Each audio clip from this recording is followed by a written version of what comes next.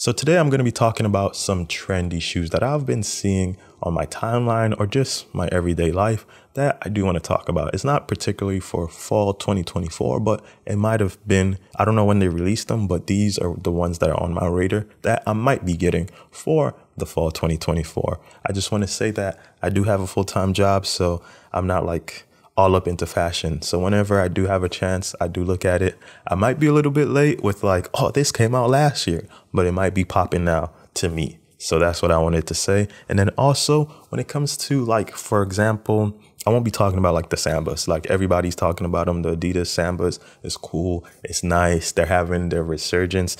I actually do have a pair that they're still white. So that's how much I really, I don't want to say I don't care for them, but they're not my style. They look cool but personally not for me. I feel like they're very narrow and uh, comfortability wise.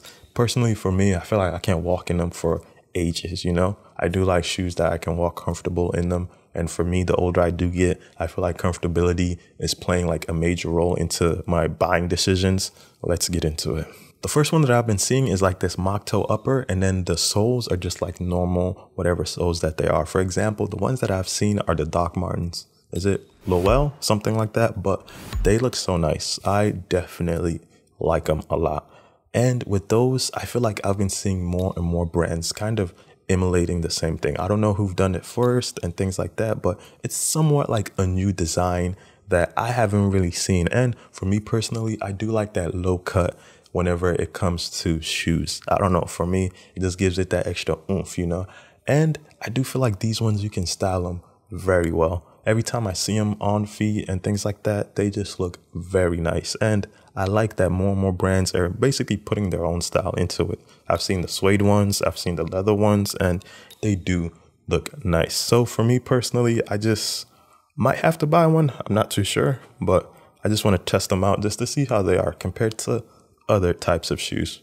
But my only concern is, are they going to be like compared to like the Clark Wallabees?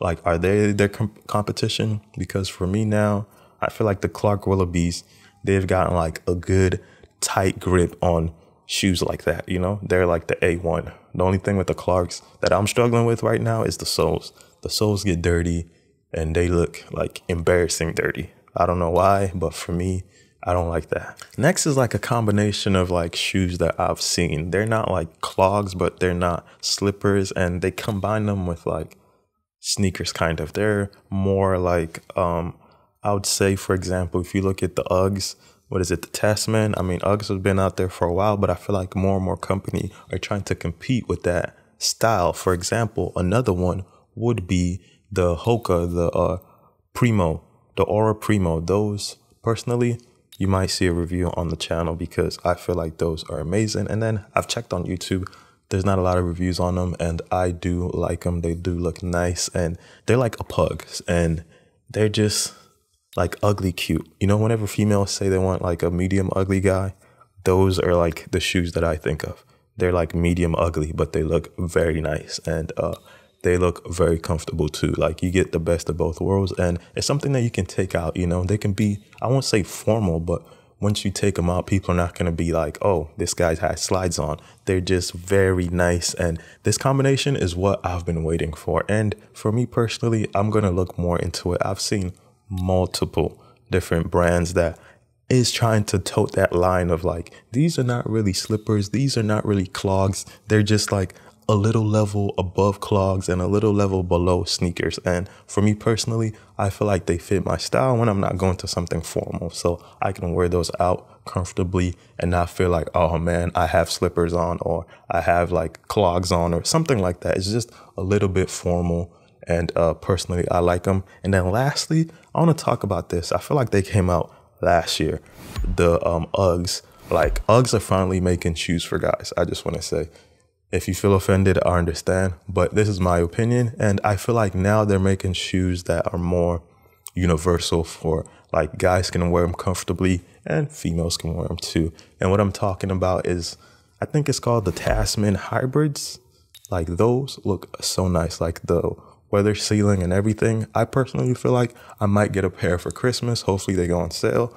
And yes, I like them. They just look very unique. They look very different. And then with the wintertime, I feel like they'll be nice just to keep your feet snug and all of that. Me personally, I did feel like back in the past, Uggs, they weren't really my style. Like they just had like a special niche for like mainly females and the brand was just going down that line. But now it's slowly it's becoming more unisex, which I do like. I do feel like they do have their space. And with Uggs, I know it's different, but it's something that I'm willing to try. And then also they do have what is it called? The Venture Daze or something like that. That one looks good too. I feel like I want to try those two, maybe compare the two to see the pros and the cons and all of that. So stay tuned.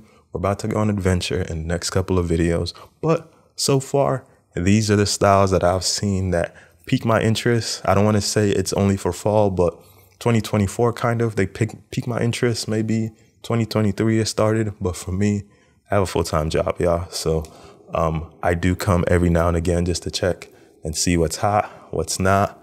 And uh, thanks for watching. I'll see you guys next time.